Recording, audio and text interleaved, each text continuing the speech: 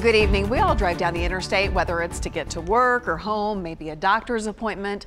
But imagine being on it when someone randomly shoots at your car. This terrifying ordeal actually happened to a Nashville man in the middle of the afternoon. He tells News Channel 5's Emily Luxen he wants the person who did it off the road before they hurt someone else. It's, it's frightening for me just driving down Nashville Road. Nashville drivers face plenty of challenges trying to get around town these days. It's just so scary. Yeah, you see it underneath hole up and it made it just a bigger hole underneath as it was in front. But one man is lucky a routine trip to the doctor's office didn't land him in the hospital. Like I said, it, it's I guess good Lord if somebody was on my side protecting me. The driver, who asked we conceal his identity for safety reasons, was on I 65 South near the Wedgewood exit in the middle of the afternoon on October 5th. That's when a white SUV pulled up next to him and someone inside shot at his car.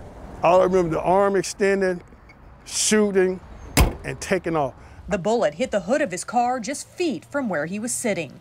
That's enough to kill a person. The driver didn't get a good look at the person who fired the shot, but remembers the vehicle clearly. 90s model SUV, Chevrolet type, Tahoe, extremely high, got a, like a lifter kit, up extremely high, lower in the back, big tires, tinted windows. You cannot miss it. It's not just a concern in Nashville. The driver says friends told him they saw the same SUV in Lebanon and Franklin, and he wants to make sure drivers are keeping an eye out for it while on the road. If anyone sees it, be careful because you could be the next person to get shot. While he still doesn't know why the person targeted his car, no road rage, no fingers, no horn blowing, or anything. He says the incident is a reminder for all drivers to stay alert and be cautious because you never know what you may encounter on the road. I can't imagine it happening to anybody else because, like I said, you may not get as fortunate I did. Emily Luxen, News Channel 5. So frightening. The driver reported the incident to Metro Police. They are investigating. Of course, if you have any information on the SUV he described, reach out to police.